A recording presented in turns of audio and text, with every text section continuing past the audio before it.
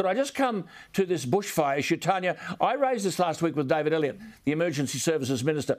Could I just remind everybody again? It's two years since the Black Summer bushfires, where homes were destroyed in the summer of 2019. The Gospers Mountain megafire destroyed an area seven times the size of Singapore, feeding on densely grown areas in the Wollemi National Park.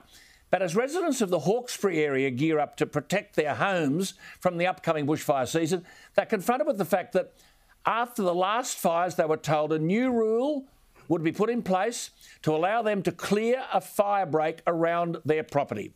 Two years on, that law hasn't come into play. Now, to put in simple language, Tania, shouldn't that law be in place?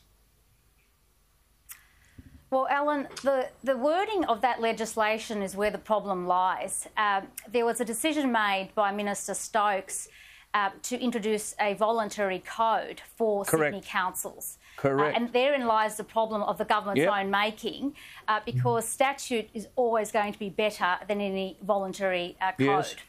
Yes, it gave the councils. See, Damien, David Elliott enacted this rural boundary clearing code to allow landowners to clear a 25 metre fire break, but the code, Tania's right, required local councils. They would pass orders to allow residents to be in clearing their land. Weeks ago, a mix of Labor, Independent, and Greens on the Hawkesbury Council voted down the 25 metre fire break proposal. So the code means nothing. Isn't Tania right?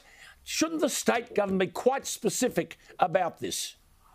Well, she's not right in one sense because she failed to say that the code does apply in all areas other than metropolitan areas, where we did vest well, in those greater metropolitan Damien, councils. that's significant. That, well, uh, well, Damien, metropolitan where councils. you have where you where you have urban. Tania, keep going where you have urban properties, well, it is inappropriate. To, Damien, I've got to stop you there, Damien. to have 25 Damien. metre boundary cleared.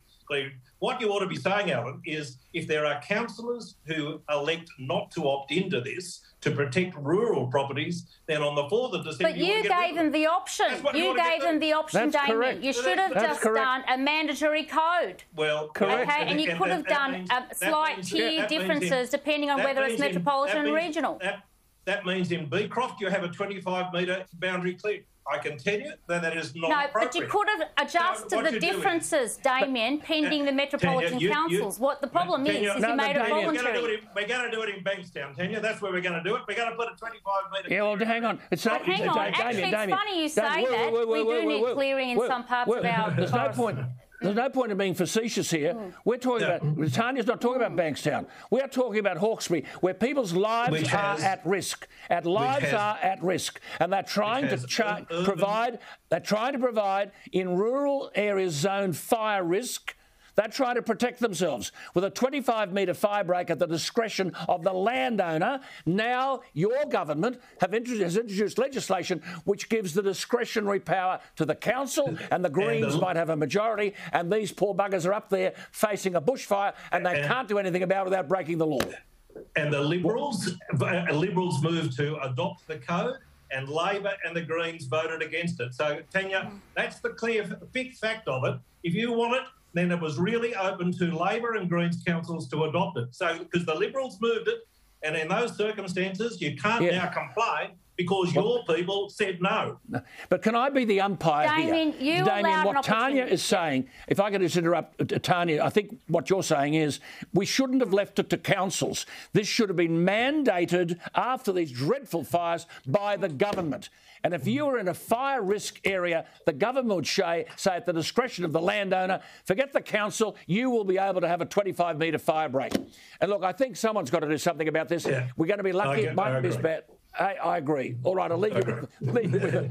Thank you. Thank you both. Tania, Tania, you Thanks, should have insisted Alan. that. Your mum should have insisted on this. Mandatory. Mandatory out there now, they're at wits' end. Wits' end. Is there going to be a bushfire season? And they're breaking the law if they implement a 25 metre fire break. Come on. Damien Tudehope, well, Tania Let's hope stop. Okay, good on you. Stop it. Put it in place.